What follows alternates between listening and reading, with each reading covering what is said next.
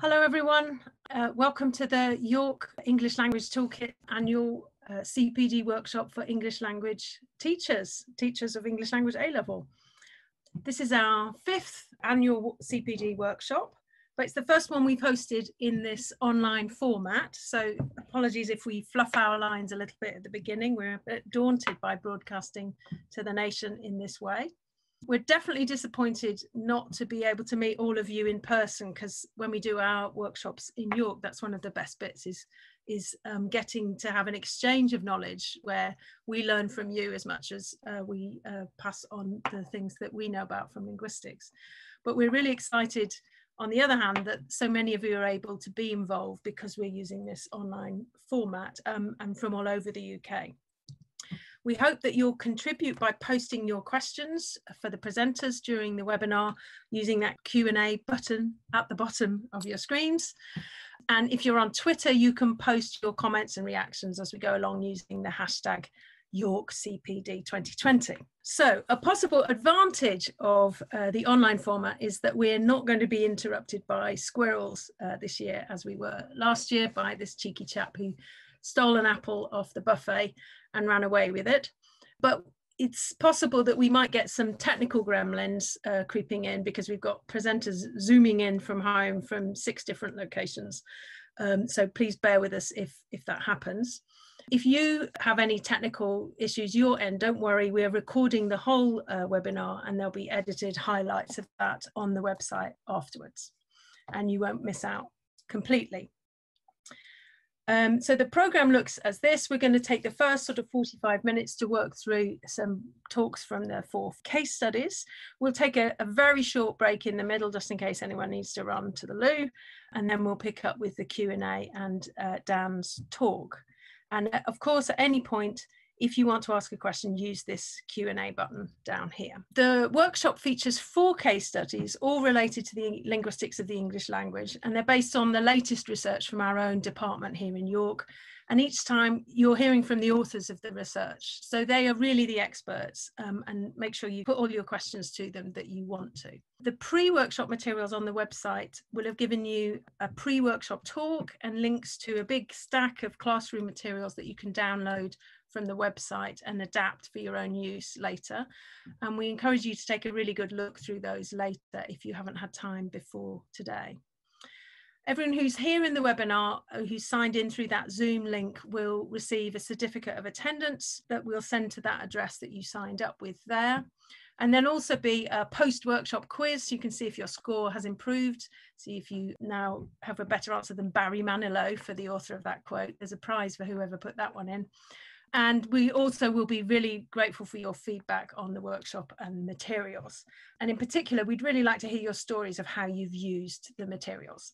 But for now, we're going to get straight down to business. And I'm going to ask Claire Childs to take over the screen. Claire is a lecturer in English language and linguistics in our department. She teaches sociolinguistics and researches grammatical change in English dialects. And I think she's now ready to present. And her study is a study of grammatical change in the use of never in British English dialects. Thanks, Claire. Thanks, Sam, and hi, everybody. So um, I'm going to talk to you about use of never and uh, grammatical change, as Sam says. And in doing so, I'm going to pick up on a few themes from the A-level syllabus, syllabus, in particular language diversity and language change in relation to grammar and semantics and pragmatics. I'm going to start by reviewing a few key background um, things to know, which you might have seen already in the pre-workshop uh, talk, but um, if you haven't viewed that, that's fine. Um, you'll be kept up to speed. So first of all, there's three main types of never. And the first one is perhaps the one you might think of first if you ask what, what do you mean by the word never. Um, it means not ever or not on any occasion. So this is one in the left-hand side, type one. And this refers to possible events over a period of time. So an example would be if Speaker A says, didn't your school used to organise a sixth form party every year? Um, Speaker B says, yes, but I never organised it. So here Speaker B is uh, meaning that anytime there was a sixth form party, they didn't organise it. And this is uh, originally from Old English, but of course we still use it today. Uh, then there's type two, which is called window of opportunity never. This uh, means not rather than not ever.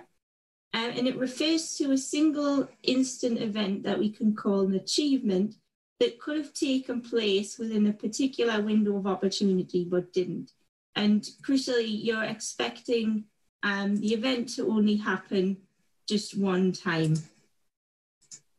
Um, so for instance, I waited in for the postman, but he never arrived, is an example of that. And this was found uh, in the 17th century and again is still used uh, today. Then uh, the last kind, type three, is a generic negator um, that also means not, but rather than type two just being restricted to achievements, the generic negator, type three, can occur with any kind of state or event, so i.e.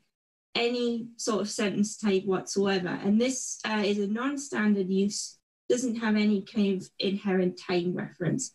So just using a similar example to type one, but in a different context, we can see an example of this kind. So uh, Speaker A said, you were in charge of organizing last year's sixth form party, weren't you?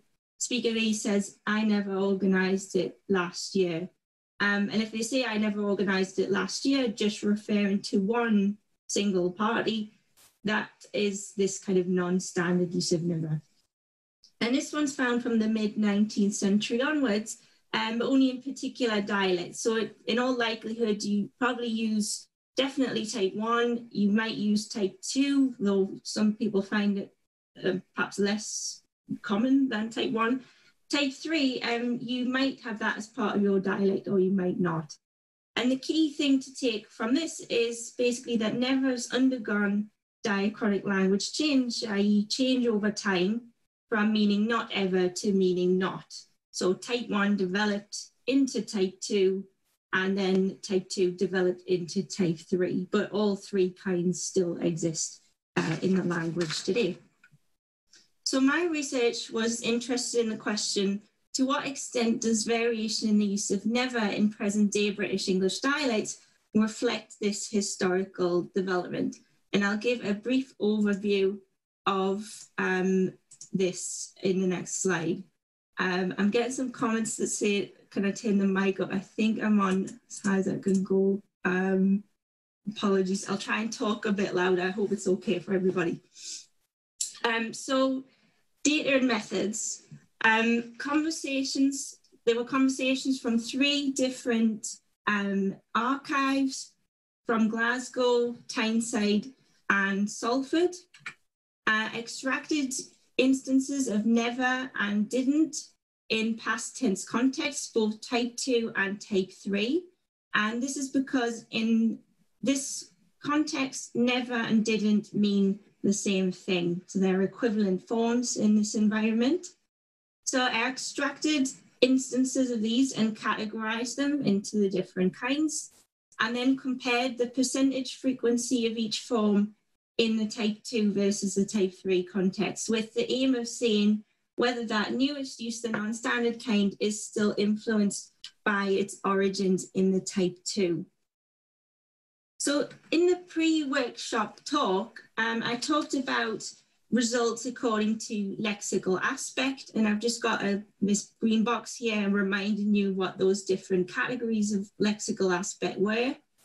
Um, I also discussed results uh, according to dialect separately.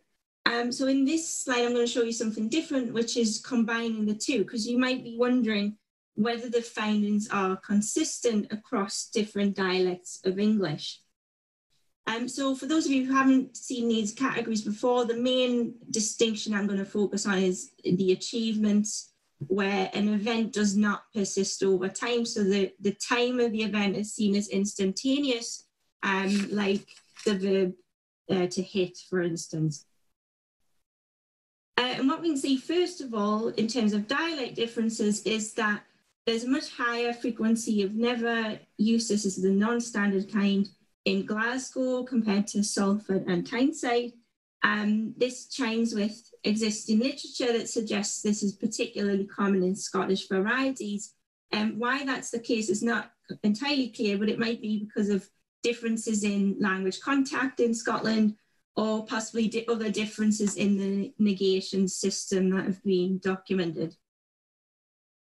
But what we can see also is that in terms of lexical aspect, the non-standard type 3 never is influenced by its origins in the type 2, because remember, type 2 were just achievements only.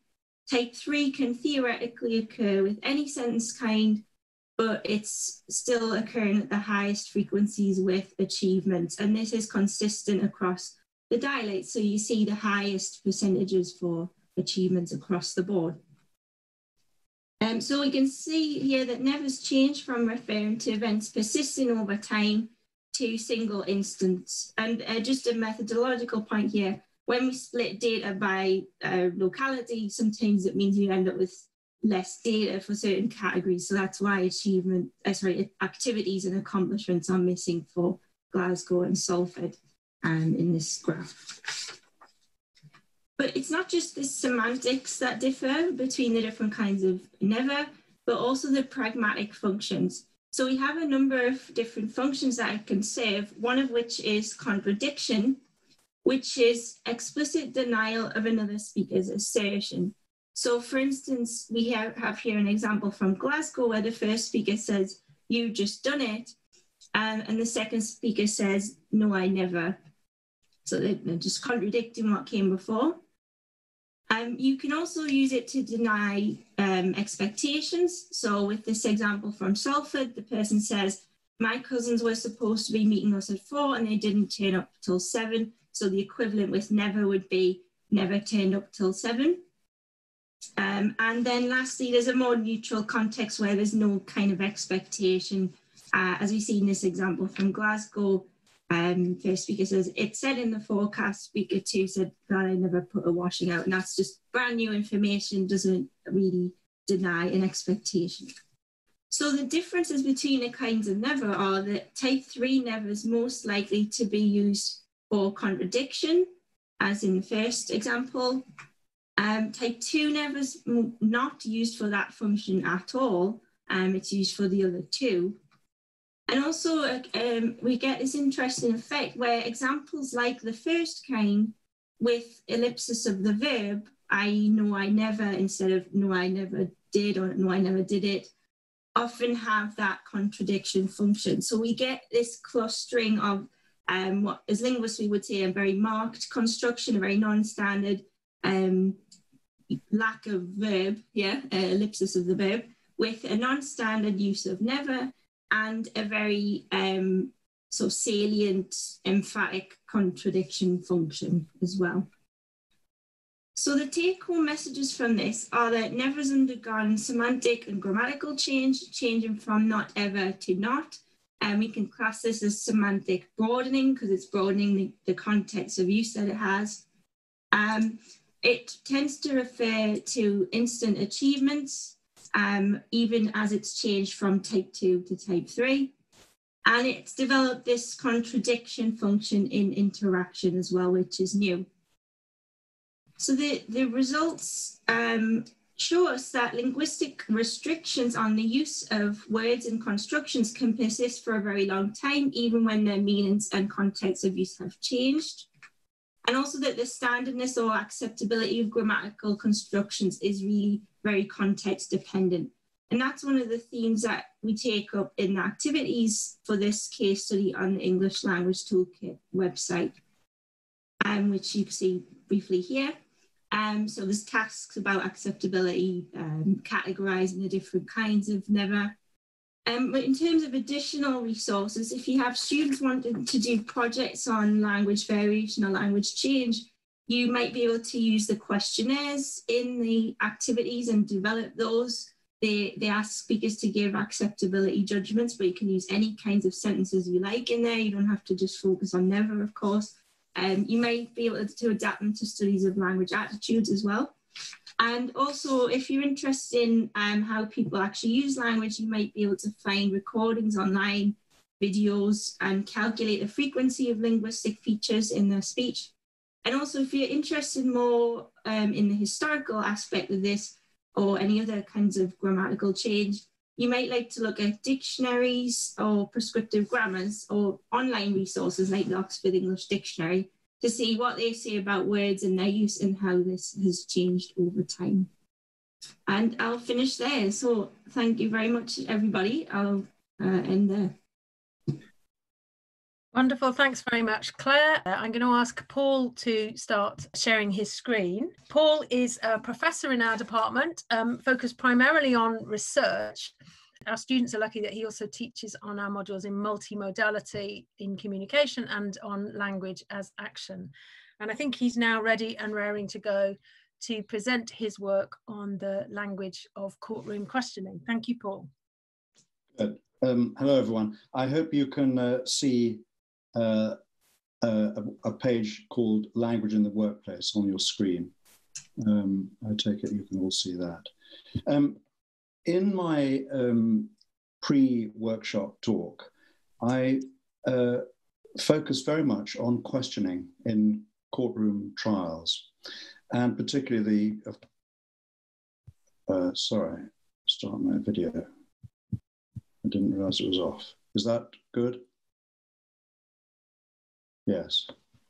Sorry, I'll start again. Uh, in my pre-workshop um, uh, uh, talk, I focus very much on questioning in courtroom trials, uh, looking at how lawyers ask uh, witnesses uh, questions.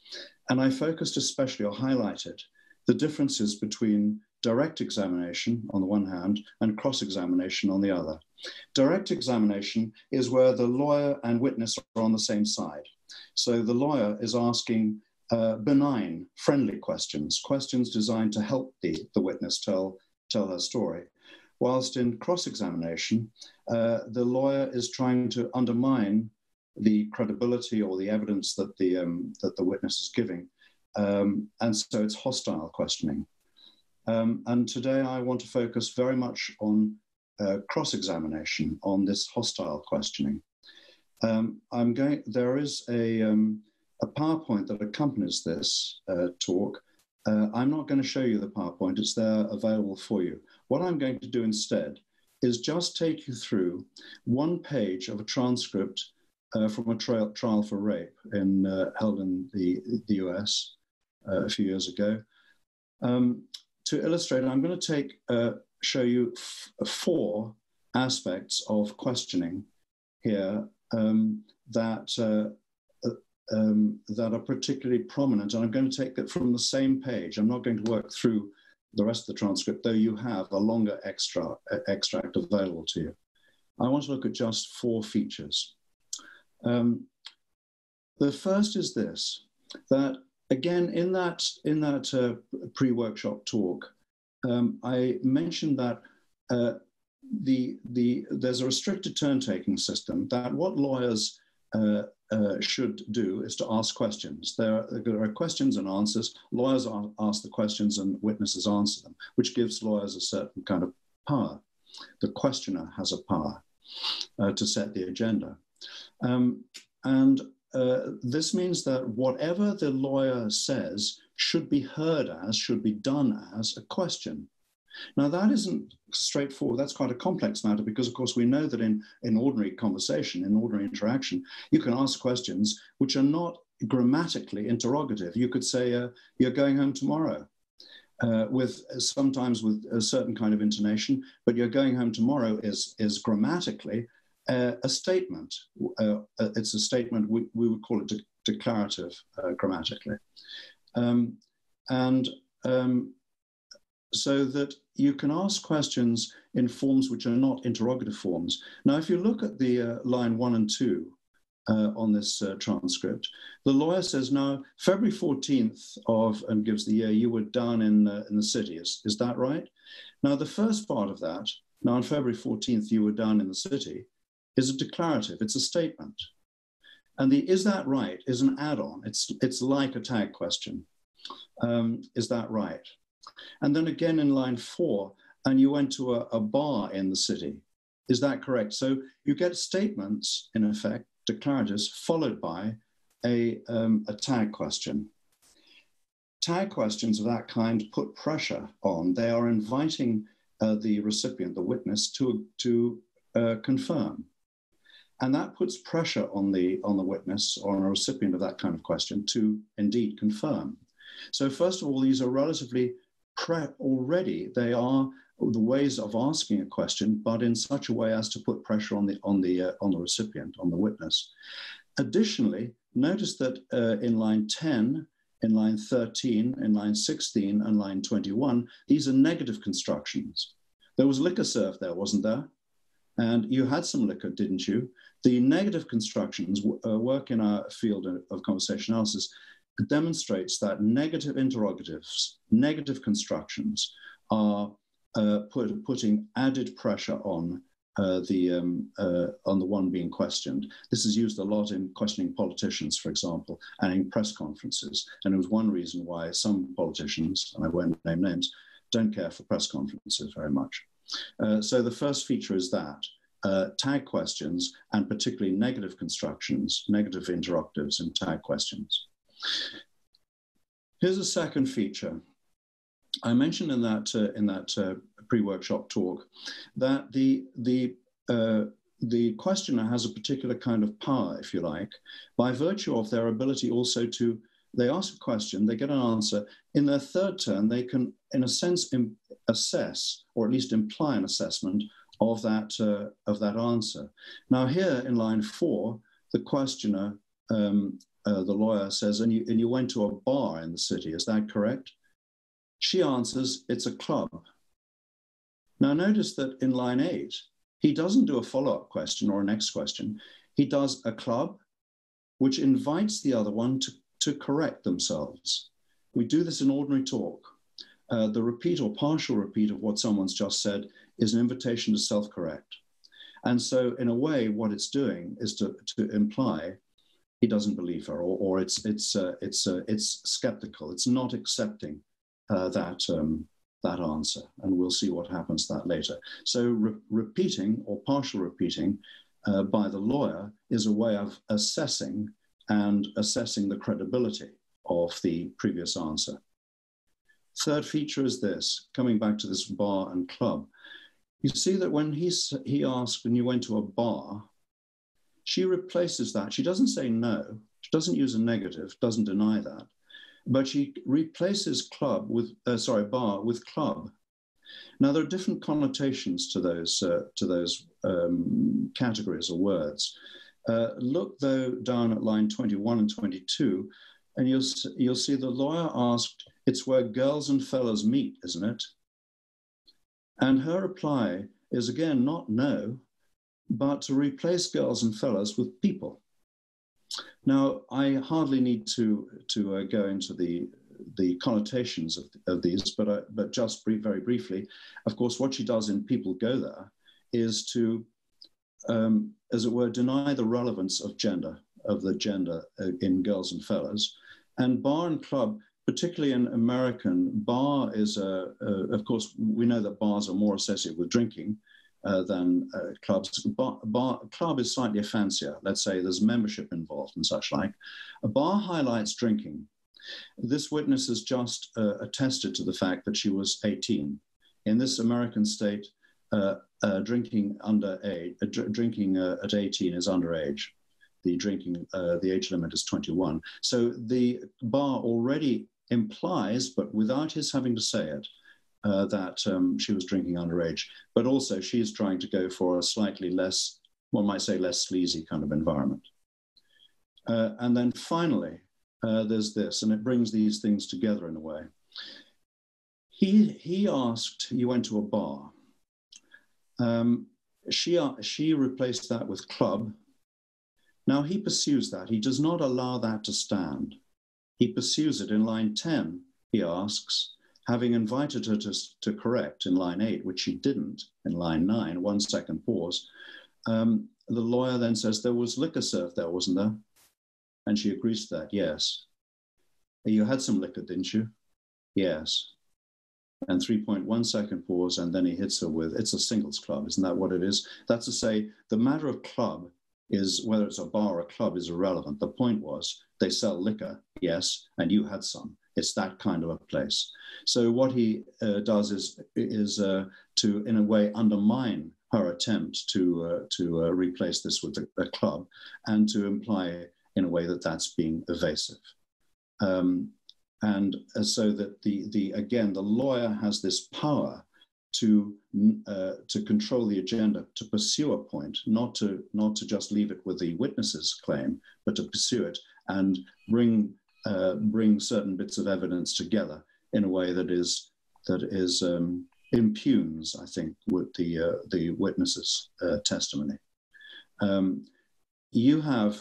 Uh, I, have given you th three, two more pages of this transcript, and if you're working with us with students, um, uh, what you can do is to uh, is to first of all find the kind of those those four things that I've been talking about. You'll find other instances, many of them, in the uh, following two two pages of transcript, and you could use it as as a, a kind of teaching aid um, if you uh, if you wanted to.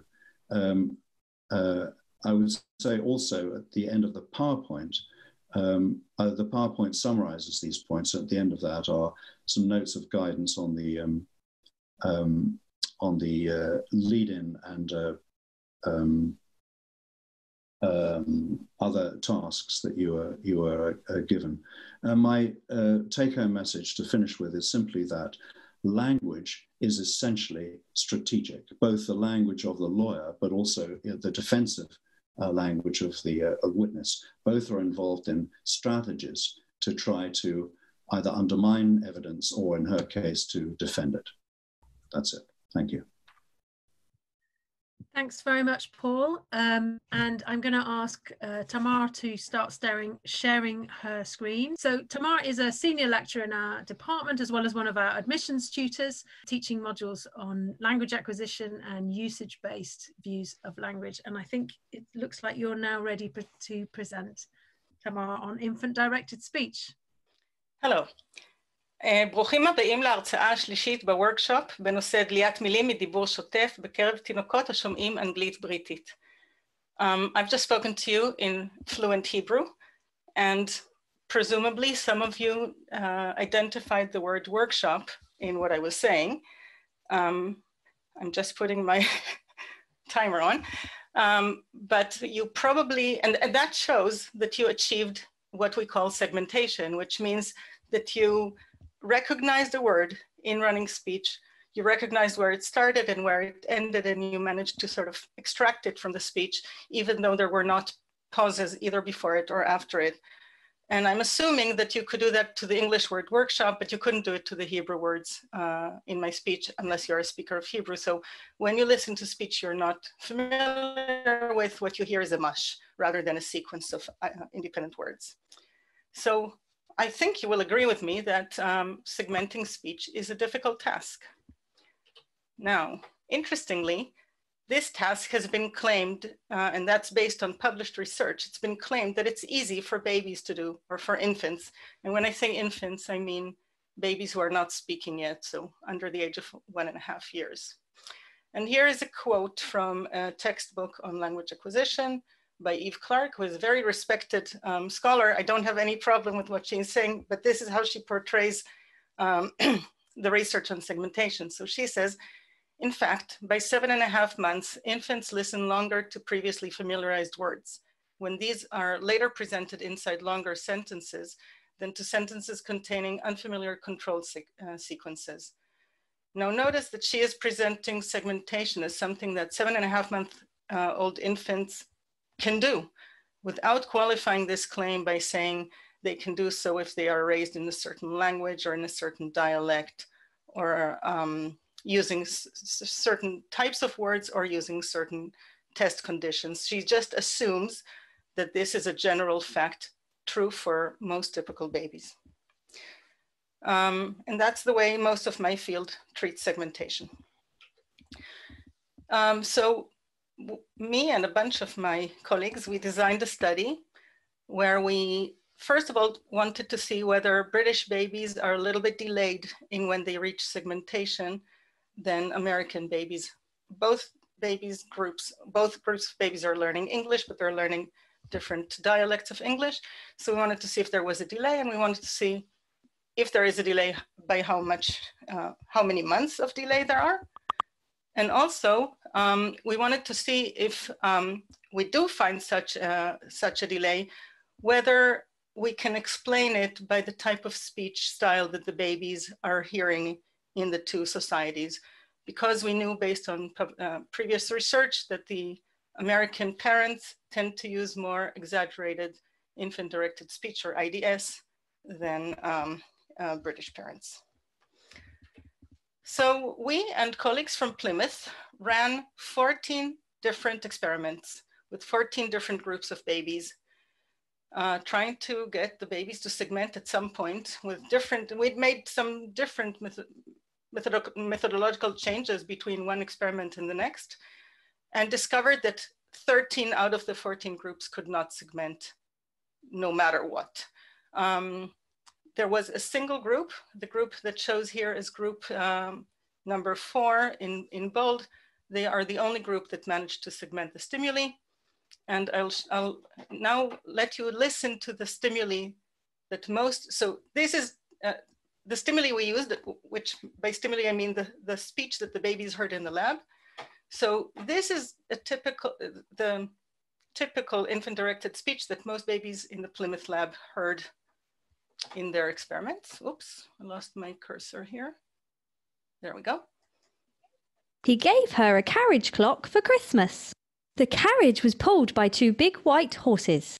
The gentle footman looked after the carriage well. And when, when they despaired of getting the babies to segment, they asked their speaker to record one last time, but in very, very exaggerated infant directed speech style. And this is the stimuli that she then uh, recorded and which one group of infants, the only group that heard it, managed to segment.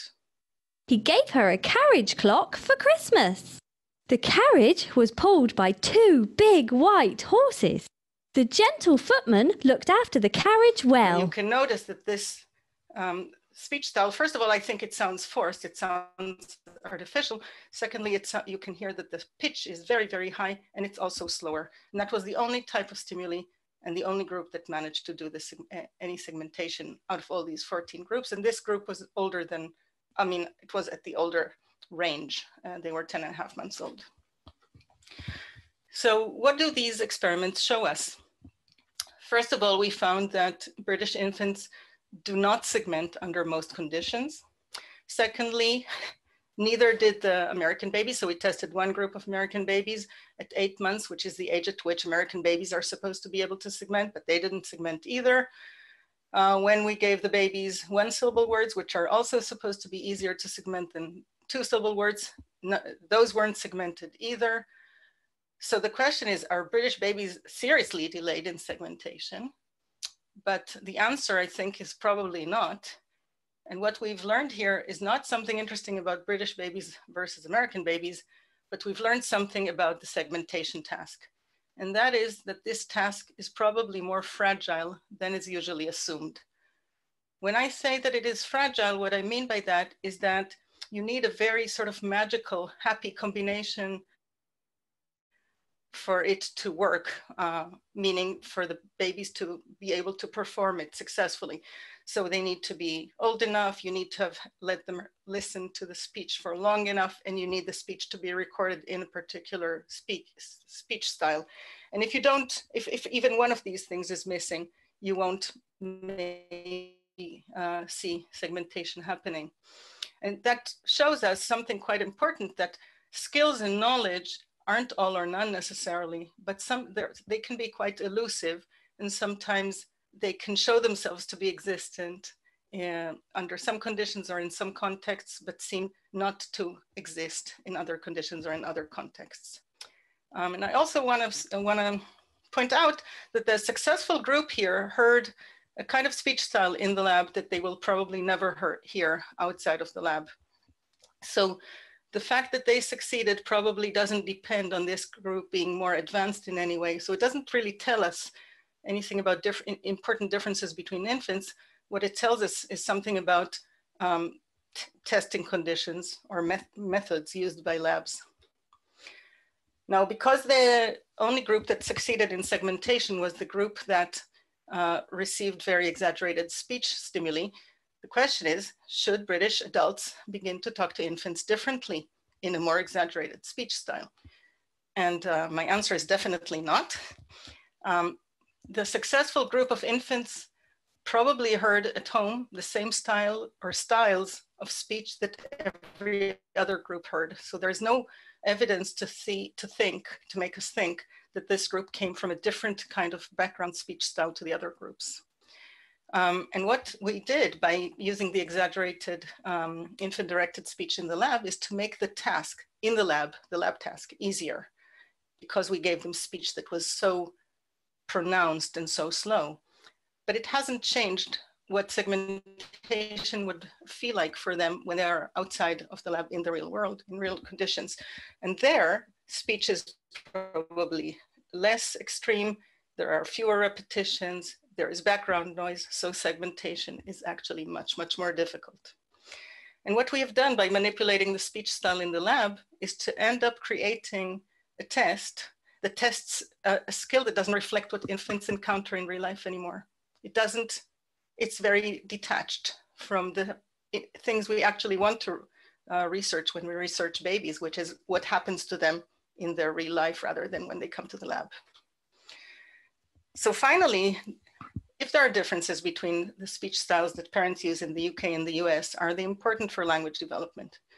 So I just want to remind you that the, the reason we wanted to look at the differences in speech style to babies was that we thought we needed to explain a difference in segmentation achievement between British and American babies but it doesn't look anymore like we have any evidence to believe that there is a difference in segmentation abilities between the babies growing up in these two societies. So I don't think we need to explain any, there is no difference to explain by looking at the speech style differences. Now, even if there are speech, line, speech style differences, and there might very well be because the literature says there are such, we don't know that they make any difference for infant learning, really. And what we did find when we um, conducted this study and those of you who've looked at the extension task would have noticed it, is that speech styles to infants differ actually uh, very much uh, within dialects and within speakers, not only between dialects. So I think that's a really interesting point, and probably the important questions for future studies are, first of all, to use naturalistic speech rather than this artificial speech, and then within the range of styles in naturalistic speech, to see whether infants respond to these styles differently and do they learn more from one type of speech style than from the other. Thank you very much. That's the end. I will unshare my screen now. Wonderful. Thanks very much, um, Tamar. Um, and I'm going to ask Dom now to share his screen so that he's set up and ready to go. Dom is a senior lecturer in our department. He's also one of our admissions tutors and he teaches modules in sociolinguistics and phonetics, including language and identity and forensic linguistics. And I think he's now ready to present on accent bias in Britain. Thanks, Dom. Thanks, Sam, and hello, everyone. Um, I'm going to talk for the, the last of these sessions um, about language attitudes. And if you've had a chance to look at some of the materials on the website, you may have come across remarks of this kind. This is one that was taken from a, an essay written by a former student in linguistics. Um, have a look at that. It's not untypical of the sorts of things that we hear day to day. These views are very commonly expressed. They're, they're absolutely, uh, you know, unremarkable, uh, at least in the, the British context. So this person's saying RP is, is more suitable um, for certain sorts of occupations that, than others. This person thinks that uh, brain surgeons shouldn't be speaking with a Geordie accent. That seems to be the thrust of this. So I'm sure we've all um, been exposed to this kind of thing a lot in the past. Um, and, you know, there's a lot of people out there who think that this kind of remark is perfectly okay, is perfectly legitimate. Um, being tied up as it is with um, ideas of rightness and wrongness in language and quality, good and bad quality, uh, and so forth. And also one, um, one thing that keeps coming through in discussions on this topic is the idea that speakers can change their accents if they want to, uh, much as we would change our clothes or our hairstyle, that kind of thing. Um, and given those notions that are out there floating around, we think that um, there's a real risk of the sorts of biases that we can observe out there in the world turning into actual discrimination. It's where those um, biases are actually enacted and potentially in the workplace that could lead to all sorts of unfairness. Um, there's not much research on this, and in fact, this is why we uh, this is what inspired our project that I'm going to talk about in the remainder of the session. Also, um, in the the pre-workshop talk, I, I, go into this material in a bit more detail, and then there's some some of this material is uh, also in there. So the project in question is called Accent Bias Britain, ABB, and we teamed up with some colleagues at Queen Mary University of London um, on that project, funded by the ESRC. Okay, now, so what did we do? We recorded actors um, speaking aloud some good versus bad answers. What do I mean by that? We actually had these drafted by professional lawyers um, who were not academic lawyers, they, they were actually involved in the recruitment uh, process in their own organizations. So they were worded in a very authentic way. And when I say good and bad, I don't mean that there were actually any bad answers. There, there were good ones and there were sort of extra good ones. We wanted to keep the, the level of realism high um, by coming up with answers that could plausibly have been given by an interview uh, candidate in a commercial law firm. So the idea was that these people were interviewing for a position as a trainee solicitor in a big law firm, and um, these were uh, selected on grounds of realism. I've got some example recordings which I'll play you just some short snippets of. Brexit may not have a major effect on British law firms, though of course it's too soon to tell what the effects will be. Some Europeans move back to their home country. Okay, so that's one example of uh, one of the accents that we chose. Here's another. Brexit may not have a major effect on British law firms, though of course it's too soon to tell what the effects will be. Some Euro- Okay, and so on. And so we had um, a, a, fair few of these, as I'll show you on the next slide. We had some uh, five different accents of English. We made sure that the wording was consistent from uh, each script um, to another. So uh, the idea was that all we were varying was the the speaker's accent, not the not the wording that they used. So it's a form of matched guise design. Um, if you want to go into the ABB website, you'll find out a lot more detail about this. So those are the, the five accents we tested, and we had two speakers of each, two male speakers of each. Um, we wanted to ensure that when people gave responses, they were responding to the accent rather than the specific speaker. So we thought we'd better have a, a couple of speakers of each. There they are. We have RP, received pronunciation, Estuary English, MLE, Multicultural London English, General Northern English, and so-called urban West Yorkshire English, so that's from Leeds. So by choosing these five accents, we could look at multiple dimensions simultaneously. We had the standard, non-standard dimension. We had region, north versus south of England, and we had um, ethnicity, um, specifically in, in, the case of MLE. Um, now, the listeners that we recruited were asked to rate both the answers and the speakers themselves the perceived qualities of the speakers as well as the answers. And we used these uh, evaluation scales where one is low, 10 is high. Uh, we're interested in the quality of the answer overall, how much expert knowledge was shown by that answer. Would the candidate succeed as a lawyer, in the opinion of the listener? Would that person like to work with the candidate? And then a kind of overall uh, rating score. And I'm going to show you first um, some data that we collected by way of kind of grounding this, giving this a context relative to other surveys that had been done. So actually what we did initially was just ask people, uh, respondents, uh, around a thousand of those, to give their subjective responses to just the names for accents. We didn't get them to listen to anything at this point.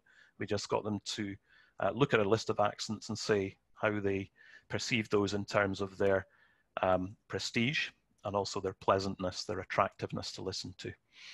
So what we're looking at here, okay, we've got the accent rating from low to high on the vertical axis, and then different accents of English represented there. This is actually a subset of the, the accents that were, were tested. We've got three different uh, surveys here. We've got one from the late 1960s. We've got uh, another one from the 2000s, and then our, our most recent data from uh, just a few months ago. shown in blue. And what you can see there is that we've got RP over there on the left, ranked highest for prestige and pleasantness. Birmingham on the far right, um, as usual, comes out bottom of the pile, and then various other accents listed in between. Uh, what you'll see there is that the blue line for, for our 2019 data, uh, the, the curve is, or the slope is actually flatter, which means that there isn't as big a difference between the most highly rated accent RP and the lowest rated one. So there's, you know, they're more balanced in terms of people's perceptions of them. But overall, the, the slope is the same. Okay, so not much has changed in the last half century, it would seem. I'll now move on to talk about the results that came out of getting our participants actually to listen to the samples. Okay, so once again, we've got the uh, mean evaluation there on the vertical axis and then our five different accents um, from the ABB project listed at the bottom. You can see that RP comes out over all the top, uh, top rated accent there. Now I should say this, the, the, the listeners here were non-lawyers. These were people who didn't have a background in law and there was about 800 of them, okay? Um, they grouped the two, uh, sorry, the, the two Northern English accents, so General Northern and Urban West Yorkshire, in more or less the same way. They weren't rated as high as RP, but they were considered about the same as each other. Um, this is when we'd collapsed those various criteria together. We found that they were so highly correlated that it wasn't worth treating them as separate criteria.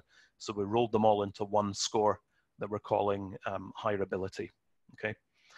So the two Northern English accents treated about the same. And then the two non-standard Southern accents, Estuary English, Multicultural London English, again, more or less on a par with each other, but uh, rated the lowest. Now, I should say, if you look at the numbers on the, the y-axis, the vertical scale there, you see that the range of scores is actually really small. So there isn't much in it here. It seems that those quite stark differences that we saw in the previous uh, chart, the one where we asked people to, to label the, the to, to rate the labels, um, there's actually a much narrower uh, difference between the, the accents in question. And then finally, these are the results for the, the lawyers. So these are people with expertise in, uh, in law, with legal training, experience, many of them, of um, actually doing job interviews for, for candidates. And what we can see here is that um, the, the good quality answers, the, the very good ones uh, that we, we scripted, are rated higher than the, the less good ones, which are shown in green there. Um, but what you'll notice is that the, the chart is quite flat. There's actually very little difference across the five accents there. Um, and finally, if we look at those two boxes on the left, you can see that RP overall performs the, the least well here. It's, it's rated lowest by our, our expert listeners, which is kind of interesting. That, that flew in the face to some extent of what we had expected to see. So it looks like um, here with these expert listeners, uh, they're to some extent suppressing the accent bias that we might have expected them to show and which you know other data would certainly suggest is out there in the world. Um, they're focusing more on the expertise, so the content of those answers rather than the form. But this effect for RP is kind of interesting because it's as though they're setting the bar a bit higher for RP speakers. They expect better of them than they do for the speakers of the non-standard varieties. It just shows you that attitudes are quite a complex thing and they're not always positive in the way that you would expect. The last thing I want to mention is the um, testing of some interventions that we, we made use of. We, did, we ran a set of additional experiments where we tested some um, interventions to try and uh, see which would be the most effective in terms of asking people to apply a bit of cognitive control over their subjective responses to these uh, accents and um, samples. Um, we started off with the, uh, in the understanding that stereotypical reactions to accents are perfectly normal. Everybody has them, you know, their uh, bias is, is quite a normal feature of, of human life. Um, it's trying to break the link between uh, bias and actual discrimination, you know, enacting that, that kind of um, set of preferences. So we tested five different strategies here, as you can see, raising awareness, identifying irrelevant information, committing to fairness and objectivity, increasing accountability, and appealing to multiculturalism. And of the five, it was the first of those, raising awareness, that seemed to um, give the most bang for the buck. If you want to know more about this, go onto the ABB website. You can read about this in, in a lot more detail. So just to wrap up then, it seems that, you know, taking this long view over the last half century, we can see that accent bias does seem to have quite a, um, a persistent uh, presence in, in life in, in the UK. Um, the hierarchy hasn't changed, the, you know, with this preference for RP and then the, the non-standard ones at the far end of the scale. We're seeing, um, if you look at some of the materials we've provided in the uh, additional materials, the lead-in, the extension materials, you'll see that um, there seems to be a kind of an age effect whereby younger people seem to have more positive attitudes towards non-standard English. But in the context of that, that long view that we're taking, the 50 year time span, it seems that um, we're kind of stuck in this cycle whereby younger people's attitudes tend to become more conservative as they grow older, um, less tolerant, so to speak. There's also a sensitivity to context at play here. And when you get people actually to listen to speech, actual people talking, rather than just saying, what do you think about Cockney? What do you think about the Queen's English? That kind of thing. You get much more um, uh, equivalence, much more nuanced answers really than, than when you, uh, you get them just to look at labels on a page. And finally, um, clearly accent bias is still with us. There's still great potential for that to lead to discrimination. Um, but what's encouraging is that the, the lawyers that we tested showed that where it really counts, people can actually suppress those biases and put them to one side. Nonetheless, we think that um, making effective interventions, sharing that with the community in human resources departments, in law firms is absolutely critical. And that's me. Thanks. Wonderful. Thanks very much, Dom.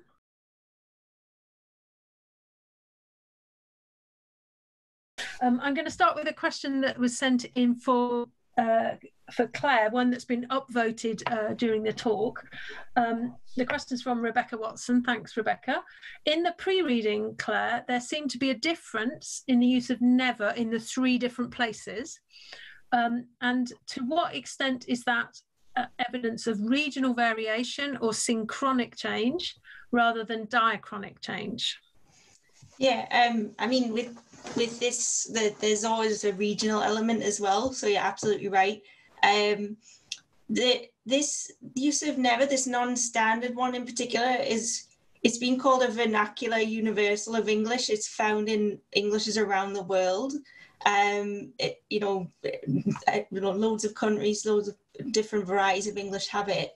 Um, but what seems to be different is the frequency with which it's used. So the Scottish uh, community in my study had it particularly at high frequencies, but also some of the contexts of use differ. So like that elliptical example, no, I never, um, when it's like that contradiction function, that that was very sort of characteristic of some of the Glasgow examples in particular in my study. So it seems that the reason for that might be that um, some of the historical change in use of never has progressed sort of further in some dialects than others um, through various sort of syst- we see these sort of cycles of change especially with negation where um, you know forms can get this emphatic function and then lose it over time. So that might be the next step where never um, you know seems emphatic now but it'll gradually become sort of it could potentially become the new not like it might not seem so non-standard in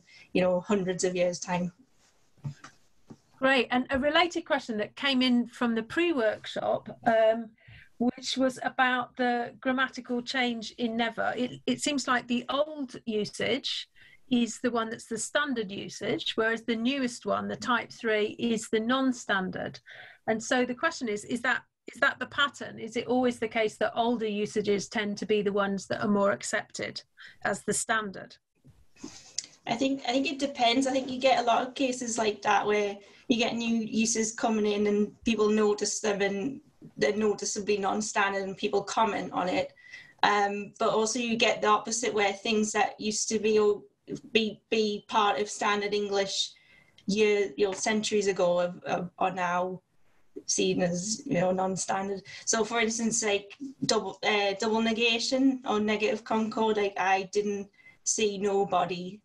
Um, that was the sort of default way of expressing. I didn't see anybody in uh, Middle English, but nowadays that's seen as non-standard. Even though it's a bit like the never, it's used in loads of Englishes around the world, but it's not part of standard English. Okay, I'm going to rush on now to Paul. Um, Paul, a question that has uh, that came in before the uh, webinar as well um, from Adele Mitchell. Thanks, Adele, for sending that in.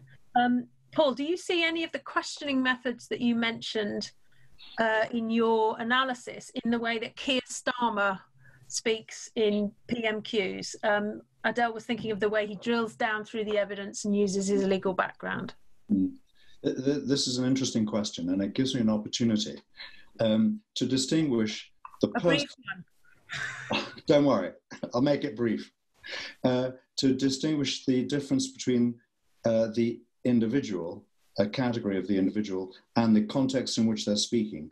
I haven't actually seen much of what's uh, of uh, of uh, question time, but um, of Prime Minister's question time. But Starmer is a, a trained lawyer, so his questions are forensic, as we know, um, but he's not speaking in a trial, in a court of law.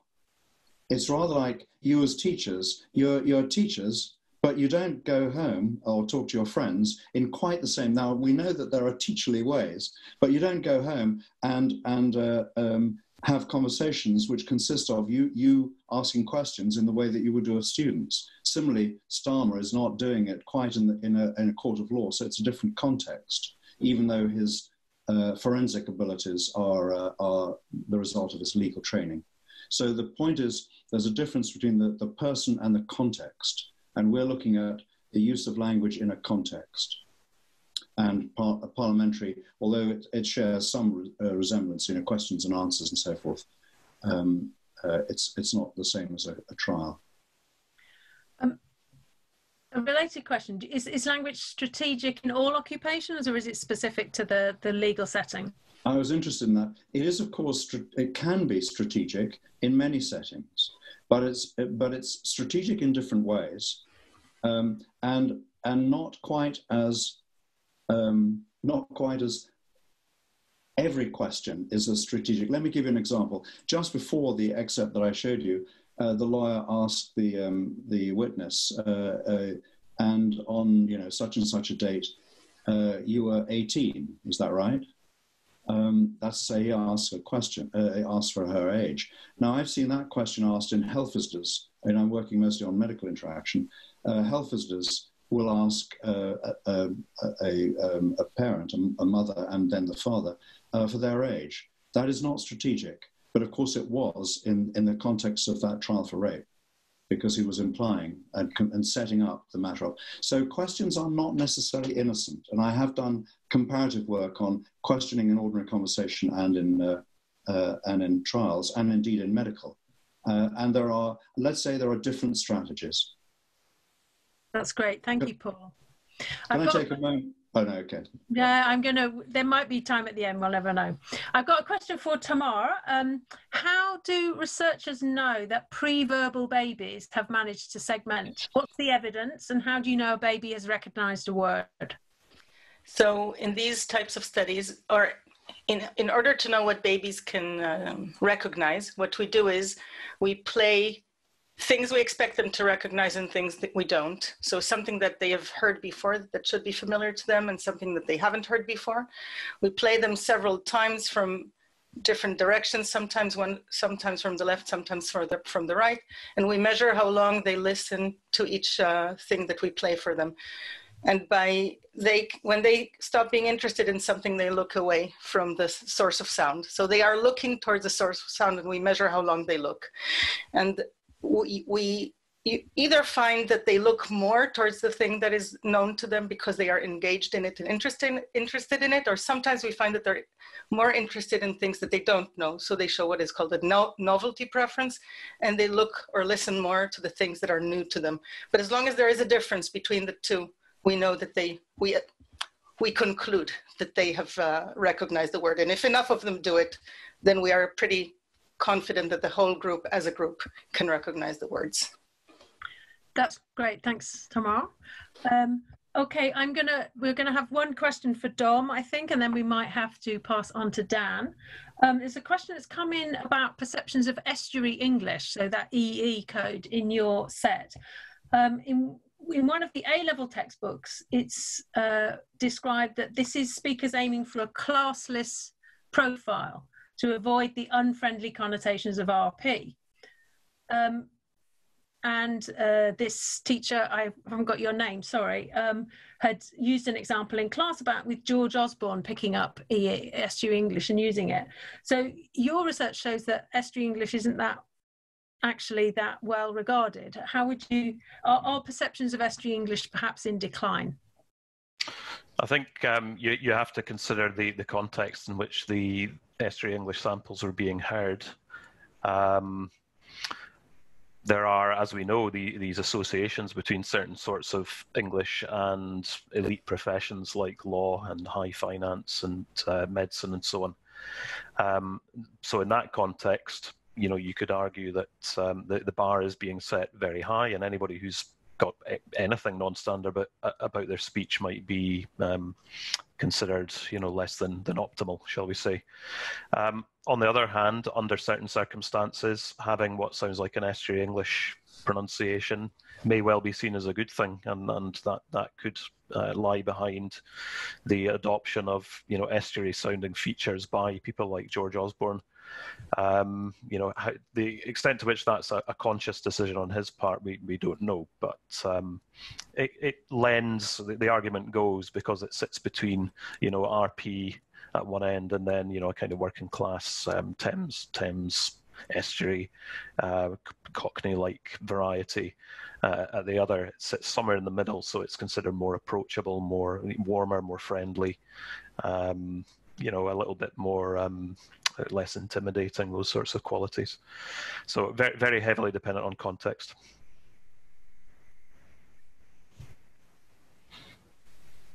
So as with so many things, context, context, context. Great. Okay, we may have a little bit more time for questions at the end, but for now I'm going to close that off there, uh, at least temporarily, and I'm going to ask Dan Clayton to uh, set uh, to share the screen and uh, we'll, as the panel, we'll turn our video off in a moment. Um, Dan probably needs uh, no introduction uh, to an audience of English language teachers, and we're really grateful to you, Dan, for um, bringing your Liverpool flag um, and um, contributing to the workshop today. You've taken part in, in uh, many of them um, before. Dan's got extensive experience of teaching English language at A level and as an AQA examiner, writing textbooks, contributing to the EMC magazine and uh, the Englang blog, and most recently as a podcaster with the New Lexis podcast. So Dan's going to um, share with us now uh, and with all of us how you can take the research that we've uh, shared with you and put that into practice. Thanks, Dan. Thanks, Sam. And thanks very much for inviting me again it's, it's a Leeds United flag. We're going to be champions of the championship as uh, Liverpool are already champions of the Premiership. Anyway, um, so looking at how we might put this into practice, I think this, this gets easier every year for me um, because I think as as this goes on from 2015 was the first one. I think 2019 we, we did this together, and now the 2020 session, um, the resources become even more sort of finely tuned to what we do at A level. And you know that's that's great credit to the linguists at University of York who are doing it, but also uh, to Heather and Jill who've put together some of the material as well today. Um, and you know, have got a very clear idea about how it all fits together with with the A level spec. Um, so I think one of the things that's that's interesting about all of this as well is that if you were to look at some of the um, material uh, pre the pre-workshop material, and I'm sure many of you have, but there's there's probably quite a few who haven't seen all of it as well. There's a real wealth of material there that's that's fantastic for the um, A level. Um, and it fits really closely with what we really wanted to do. So when we were revising the specifications for English language A level, particularly the, the AQA one that I'm involved with, we really wanted to try and refresh the content to bring it up to date, to look at the most recent research, and to encourage students and teachers to try and keep abreast of developments in linguistics and language study. So um, the material from 2015 and 2019, which Jill Lavender has done a really good index for, um, can talks you through some of those things. And a few of those things, such as um, discussions about Jafaican, as it's been termed, or multicultural London English, as Dom was saying, is the, is a more sort of accepted term for it. Um, you know, those, those, sort of debates have been really prominent. There's some great stuff there. Um, lots of students have, have, talked about that kind of material in, in the, um, you know, the exams and their own uh, language investigations and the like. Um, what we also see are some interesting things around um, the ways in which uh, people talk about sort of online identity as well. Um, there's been lots of work that students have done the last couple of years on accent and social attitudes. Um, more recently as well, uh, last year, Carmen Llamas uh, spoke um, at the, this CPD session and in this year, February 2020, she spoke to 700 A-level students in London about the work that she and Dom Watt have been doing on judgments about accents. Um, Carmen and Dom have also written for e-magazine, so the February edition of that this year. Catherine Lang, who spoke last year, is also speaking in September at our eMag E conference um, looking at child language development. So there's already been, you know, lots lots of stuff disseminated um, through other routes as well, and there's there's bound to be more that will come out of today as well. Um, in various other formats, I'm sure. Um, but have a look at the website, have a look through some of the, the pre conference material, and you'll find a wealth of really, really good stuff. So, what I'm going to do quickly is just sort of talk through a few of the things that I think are really relevant from today's four sessions. Um, I'll try to link them into the AQA spec. Um, if you don't do AQA, I know there are a few people who, who aren't doing AQA or, or here today. Um, they, they do link to other areas of, of things like OCR and Edexcel and Eduqas. Um, I've not I've not kind of specified those, but you, I'm sure you'll be able to see where those fit in. And more broadly, I think one of the things I really wanted to kind of point out was that you know what what we really want to do with the A level, as well as you know obviously the the aim of getting students good grades and you know enjoying the course and, and finding interesting things about language along the way is to really help them to develop as linguists um, we want them to be sensitive to context and meanings of language. Um, we want them to really think very carefully about the role of language in different situations and for different purposes. And we want them as well to think about what's gone before. You know, they, we want them to look at linguistic research, think about studies that can inform their own work, um, and really feed into the kind of work they're doing on the A level with you. And I think there's a really important thing that I've been sort of banging on about for ages with, with A level English language is that I think it's really important that when there's such a dearth of genuine language study on the GCSE for English, that we really want to get students to understand that language is worthy of study and you know there are some really great courses that students can do as well you know from the a level they could go on to do lots of interesting courses in, in linguistics and language study um, but we want them to kind of think a little bit about what language is as well. And I think there is a bit of a tendency when students are younger to think that language is just words. Maybe, you know, a bit more with the focus on grammar as well, that language is just sentences. But I think what we really want them to do at A level is to realize that, you know, as we can see from the work from these sessions, is that language is also about sounds, it's about strategies, it's about patterns, and it's about the social meanings that language can convey, as well as the sort of literal meanings too. So, um, one of the things that I think is important here to think about is uh, with Claire's session. Um, session one um, that that Claire um, put together was um, some really interesting stuff about language diversity and change, uh, language discourses it crosses into as well, and it also helps with the language investigation.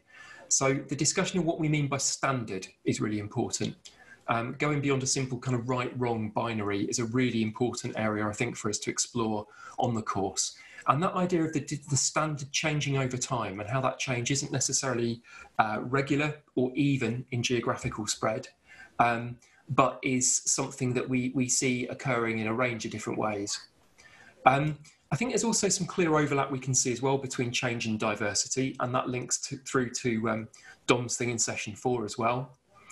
And I think as well, what we can see with Claire's session is that there's also some really interesting stuff there about the nature of change. You know, one change leads to another. You might link that to things like the Great Vowel Shift, or if you've looked at um, American English, the Northern City Shift.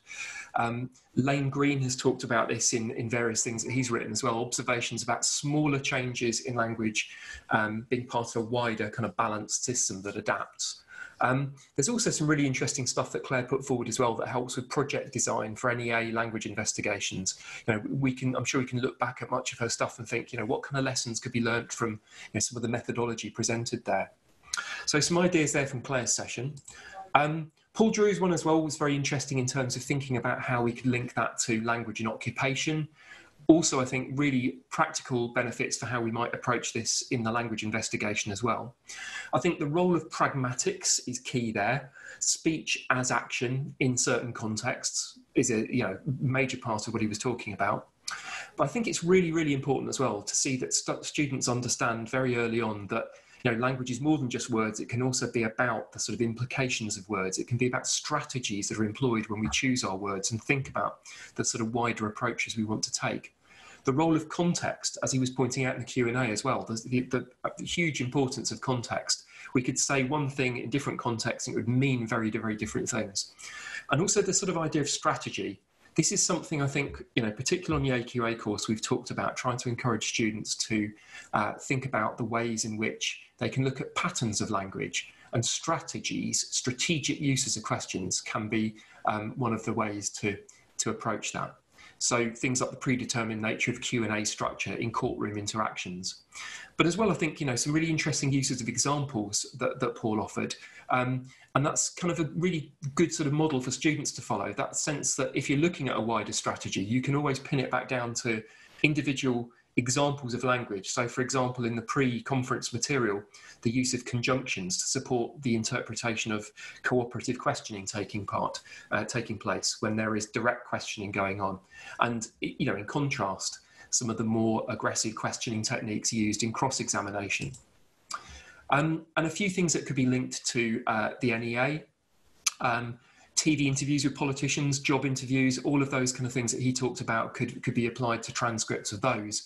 And it's a really great model for what students can do for language investigations. Thinking about context and interpretation of meanings in these very specific contexts, dealing with quite manageable data sets, um, offering clear contrastive focus, particularly in the pre-conference material. There's some great stuff looking at cross-examination versus direct questioning. Um, and that focus on strategies and patterns alongside the detailed EGs um, from, you know, from those transcripts. Another kind of thing that we could look at as well, um, and this connects with um, what we've got in um, Tamar's presentation is child language development. And again, it's really helpful. I saw a question pop up earlier on about this. Um, references to up-to-date references to child-directed, infant-directed speech. I mean, many of the textbooks have go back as um, far as 1994, I think, and there's references to Papua New Guinea and Samoa. Um, but it's interesting to see that there's maybe more kind of universal features of child-directed speech, infant-directed speech, and also variation across the world and even within English speakers, you know, and same individuals in, in different situations. I think it's also really important for showing the role that sound plays in, in language. Sounds are something to be studied and interpreted. Um, and I think as well, you know, more widely, um, it shows uh, the importance of doing background reading for students before a language investigation and as a way of setting up a hypothesis um, or research question to be explored. And then in session four, um, Dom Watt presented some really interesting stuff about accent bias the Accent Bias in Britain website is fantastic. Some really, really great material there that can be used straight away with students.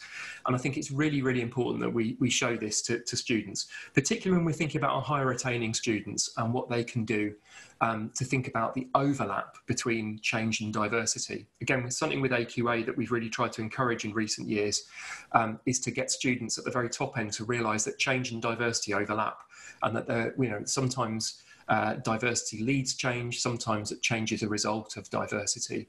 It's very interesting to see that in relation to accent bias and the whole way in which we might approach things around things like age grading and apparent time uh, studies, offering some sort of insight into that. And I think as well, this sort of notion of language discourses is, is crucial to this too. Um, I think in, in some of the pre-conference material, there's a reference to attitudes to accents being more about attitudes to people and the users of language. And those kind of discourses we have about good English versus bad, right v wrong, correct versus incorrect. All of that is, is really important for getting to grips, um, getting students to get to grips with those kind of notions of language discourses, plus those kind of wider social and real world attitudes and they can see that the sort of real effects of those, you know, biases leading to discrimination, accent prejudices leading to unfair treatment, and how interventions can be staged around accent um, attitudes um, to really kind of head some of those off. It's also interesting, I think, as well to think from sort of methodological standpoints about the perceptions of the accent labels versus the attitudes to real accents themselves. And as Dom said, know, pe people may respond in one way to a label like estuary English and immediately bring to mind a sort of social stereotype. Whereas when you actually hear hear somebody speaking in estuary English, you may have very different attitudes towards it. So an interesting sort of methodological issue um, for NEA work there, I think. And I think it's also interesting, of course, to think a little bit about the way in which um, students might uh, track changing attitudes and the contexts to those. Um, and you know, some of the changing attitudes to things like RP and estuary English uh, through some of the things that we see in popular culture, perhaps. So, just to conclude and to sort of round it off, there's masses of material, as I'm sure you'll have seen, that feeds directly into the course, particularly if you go back and have a look at the uh, pre conference, pre workshop material. Um, Jill's put together a great index that will help you make sense of a lot of last year's and 2015's material. And just once again, thanks very much for for doing all of this. It's so good to have this kind of material available um, for teachers of, of, English language A level. So thanks once again for, for doing this and for, uh, for sharing your expertise with us all. I'll, I'll stop my uh, sharing of the screen there. Thanks very much, Dan. Um, really excellent. And for us, it's really rewarding to see that we are uh, roughly on the tri- right track. And indeed, that as we've interacted with teachers in the last uh, five workshops, we've um, gained a better understanding. So we're going to take uh, just um, a few questions for, for Dan. We've got about four or five minutes to do that. Um, I've got one very general one, and then there may be uh, time for another one after that. Um, this is coming from Tanya from Scarborough. Hi, Tanya. Um, Dan, there's not much on language and sexuality in the textbooks. Um, and Tanya has a couple of students doing res research on this for NEAs. Um, can you suggest anywhere where they can access research or theory, or is there any linguistic linguists that have published on this? And you could also you could throw this to the panel if you um, want to after. Yeah, I, I mean, I think um, there's certainly some work that Paul Baker's done on that, um, and I, I think um, interesting. I think he's got a new book out called um, Fantabulosa. I think looking at Polari. Yeah. Um, and I think also if you if one of one of the books that I keep going back to for, for this is Sexed Texts, which is one of the ones he did a little while ago. Um, yeah, I mean it's it's an interesting area, and I, I, there's increasing number of students want to do language investigations on this, particularly around uh, trans identities. Um, we've had lots of really interesting investigations on things like you know uh, RuPaul's Drag Race as well, um, and you know going beyond sort of binary notions of you know male and female speech. I mean, they're, they're the ones that spring to mind. Um, I don't know if anyone else on the on the panel has got other suggestions. Anyone want to chip in? Yeah, there, there's a quite a big literature on um, the speech of um, gay men, um, trans people, uh, re- really quite a, a, large and expanding um, set of, of research papers on that topic. I'm, I'm coming at it from the phonetics end, so I'm interested in um, features of, of voice and speech principally.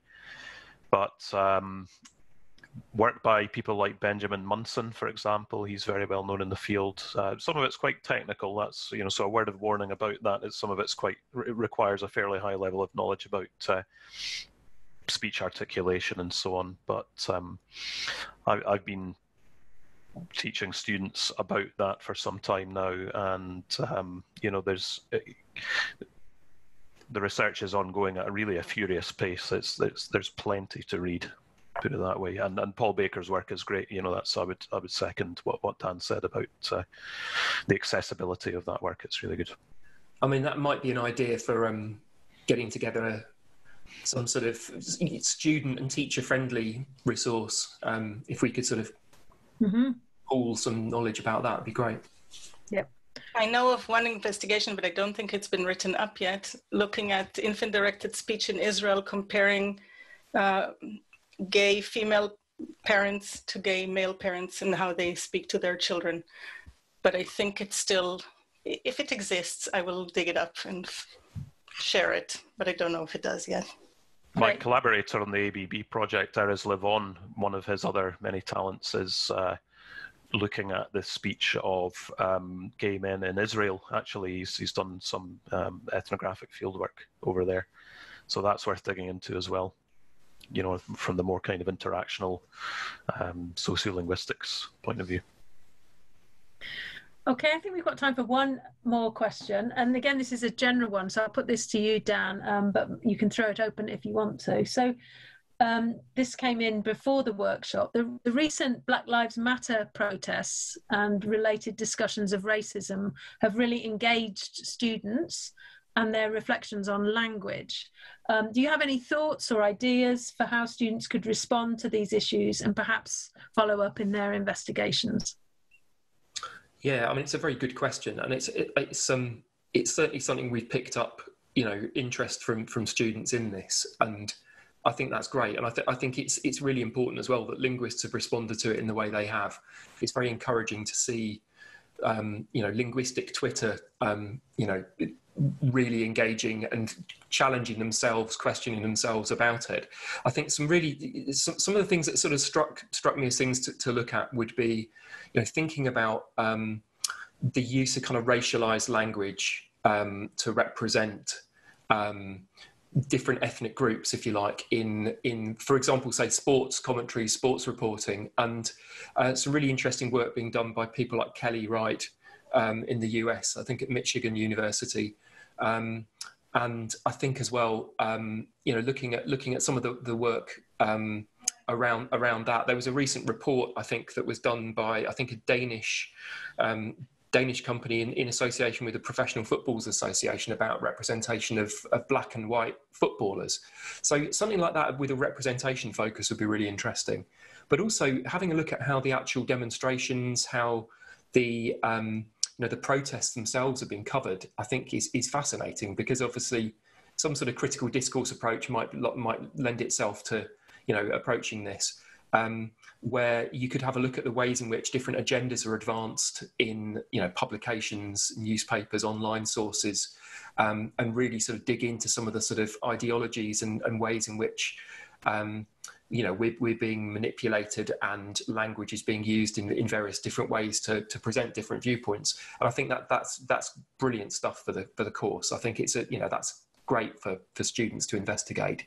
Um, they're just a couple of things, and um, you know they're, they're, ones that spring to mind.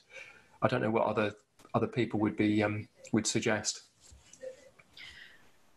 I think that's probably all we've got time for, but um, we can um, we will put our collective brains together and see if we can um, pull up some resources and, and put these things either either announce them through our Twitter feed or we'll put them on the website. Um, there's been loads of questions that we haven't been able to ask live, but we will post those with answers on the website um, afterwards. Um, I'm just going to share my screen again briefly, if I may, um, so that you can I'll just talk you through the last uh, few thing points I want to make. So all of the materials that we have been talking about today are going to be on the website, and they're going to stay there. They're not for it's not time limited. They'll be up there um, indefinitely.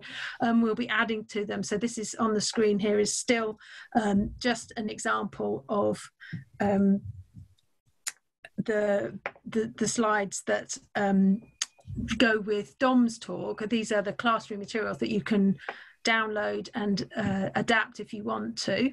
Um, some next steps would be to go to the website and use the index that Jill has helped us prepare um, to find your way through all the other materials from previous workshops. Um, and, and explore all of the other case studies. And if there's things you want to suggest that we add, add words to our glossary or extend things, then we're open to suggestions all the time. If this has whet your appetite to do uh, get your teeth into more linguistics, we've got a free uh, MOOC, massive online open course starting um, on Monday. um, on accents, attitudes, and identity, and that you it's it's free uh, for six weeks from whatever date you start. So you could start on Monday, but you don't have to start on Monday. You can choose um, a time when you've got time to work through it. And that's aimed at students as well as teachers. Um, and we'll post some more information about that on our Twitter feed if you want to know more. But that's completely free. And that also isn't time limited. That's going to be available. And Claire has been masterminding most of the work on that. It features um, Dom's work, Carmen's work, Claire's work, all kinds of people's work, Paul Kerswill's work um, as well as a general introduction to the theories. Um, one of the things we'd really like you to do is let us know how you use these materials because it sounds like they're going to be really useful for you. And it's really valuable for us if you could tell us the stories of how you use them. Just send us an email or or however um, there's a, a, feedback form on on the website. Um, and as, as a little um, taster for the day when you we're all longing to be back in our classrooms. Uh, if you send us your stories, we've got a set of classroom posters to post out to you uh, that you can put up in your classroom to say thanks for your stories. Having those stories helps us um, get the funding, which means that we can go on doing more workshops. So it's all uh, good karma and goes around.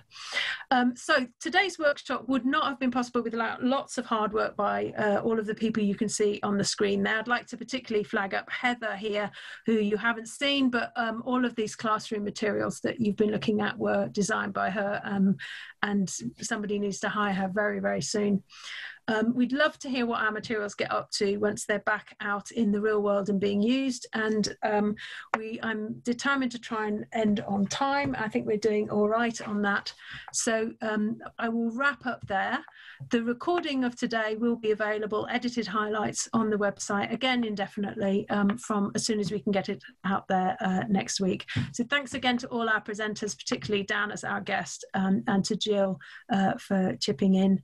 And thanks to all of for coming. We hope to see you live and in the flesh sometime in York, but maybe again for another online event because I think this has been a really great experience for us.